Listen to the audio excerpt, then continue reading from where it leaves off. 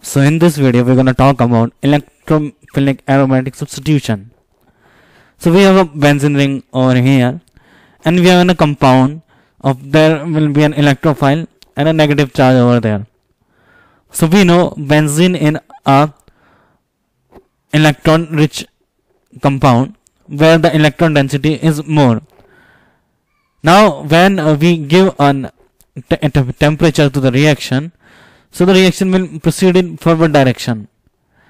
When the reaction will proceed in forward direction, it will proceed by breaking a bond. So here this bond breaks like one is there is positive charge and one there is a negative charge. Now first attack will be of electrophile because it is a electron dense ring. So electrophile will attack over here and there will be a positive charge here.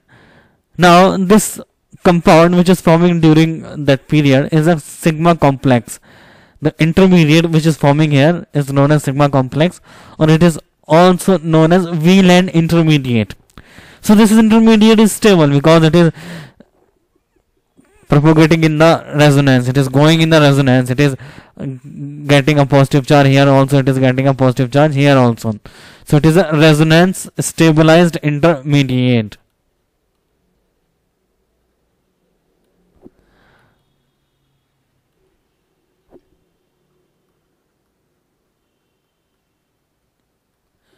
Now if we want to proceed the reaction we still need to keep on supplying the temperature the negative charge will occupy the edge and it will deprotonate the ring and there will be a negative charge over here. And this negative charge with positive charge make um, again benzene ring and there is a formation of this acid.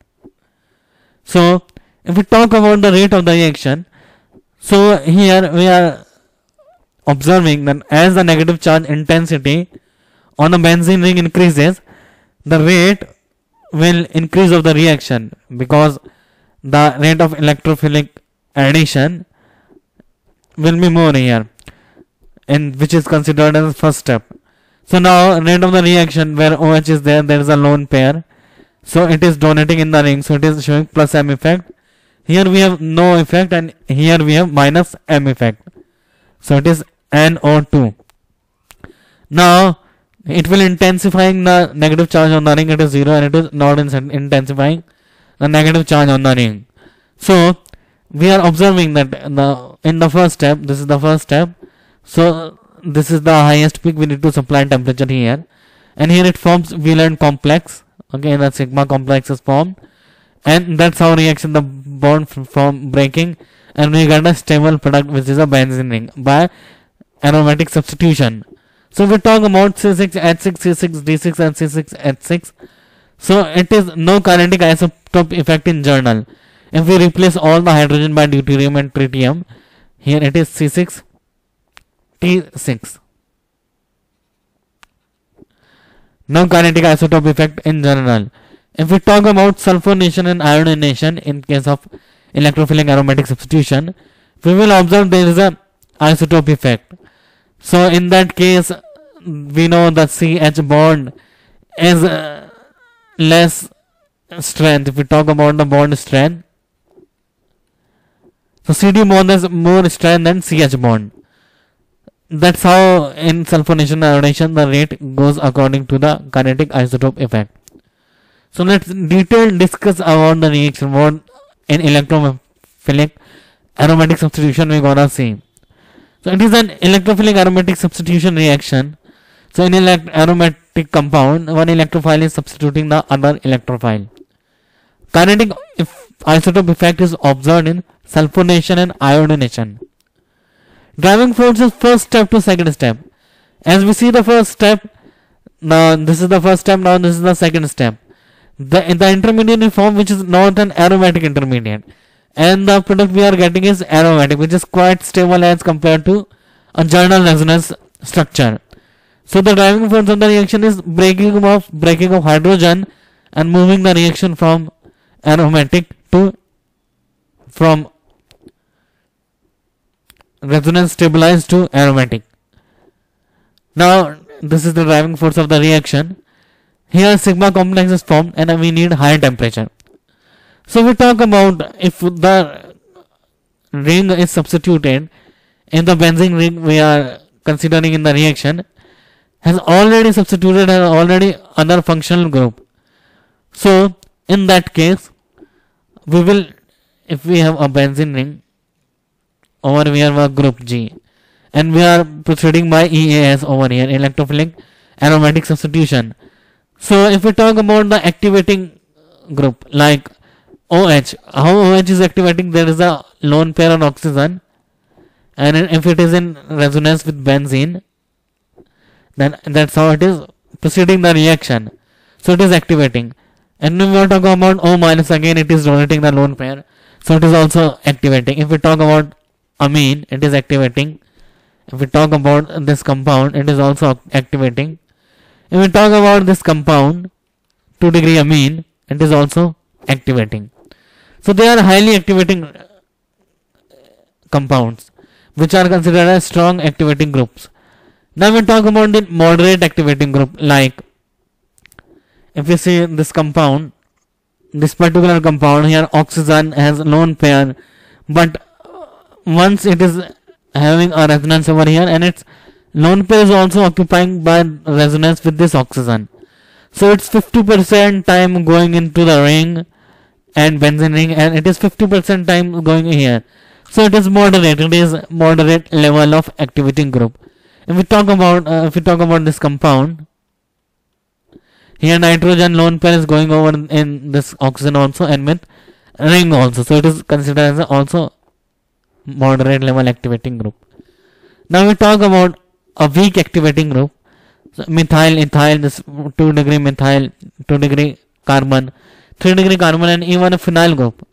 If, if we talk about uh, methyl 1 so in case of methyl 1 there is a plus H effect and plus I effect as well. In case of ethyl group there is a plus H effect and plus I effect here also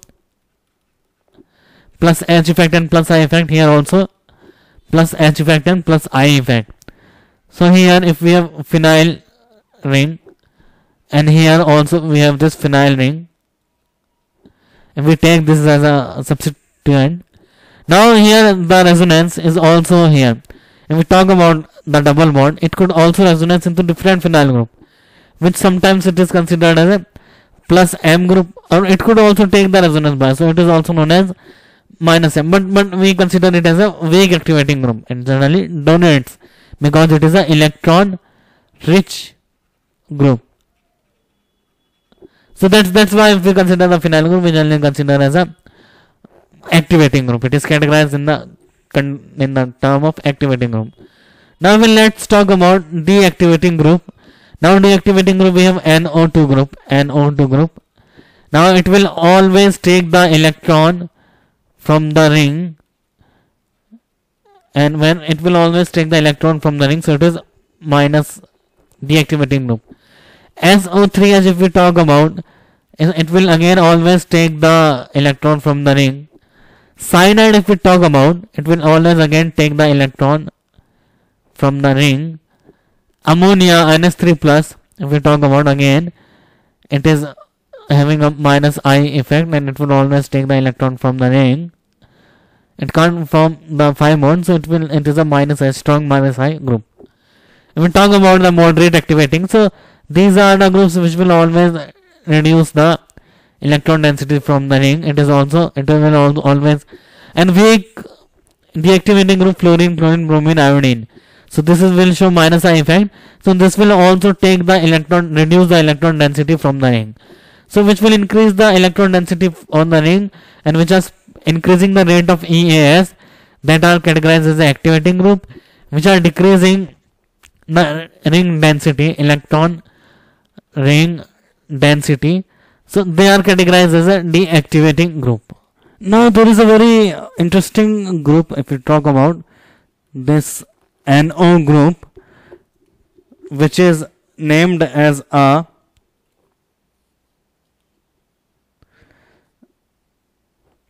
NO group which is named as a nitroso. So in nitroso group if we try to observe what could be it whether it is ring activating or ring deactivating. So we know the nitrogen can either it's, a, still a lone pair. So it can also donate an electron and oxygen is in the resonance. So it can also take the electron. So this is the electron taking side electron taking site and it is also electron withdrawing side. It is electron taken and it is electron donating side. Now in case of electron donating side it could also show the plus m and minus m. And we have seen it's minus m dominates over plus m. So it, it is still uh now it's a under the category of ring deactivating group